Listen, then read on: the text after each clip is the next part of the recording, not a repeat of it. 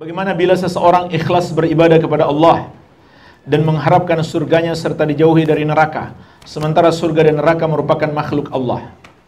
Bukan mengharap kepada surga, bukan takut kepada neraka, tapi mengharapnya kepada Allah agar Allah menyelamatkan kita dari api neraka dan memasukkan kita ke dalam surga. Itu bagian dari keikhlasan.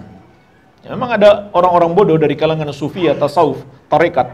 Mereka katakan, kalau masih mengharap surga dan takut neraka, itu tidak ikhlas.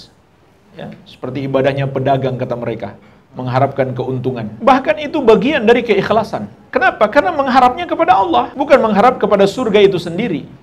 Bukan takut kepada neraka itu sendiri, tapi mengharapnya kepada Allah dan takutnya kepada Allah Subhanahu wa taala. Dan Allah telah memuji para nabi dan rasul, yarjuna rahmatahu wa yakhafuna adzabah.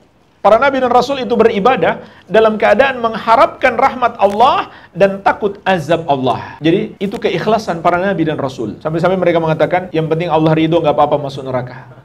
Ya. Itu adalah kebodohan. Tidak mungkin Allah ridho lalu Allah masukkan dalam neraka.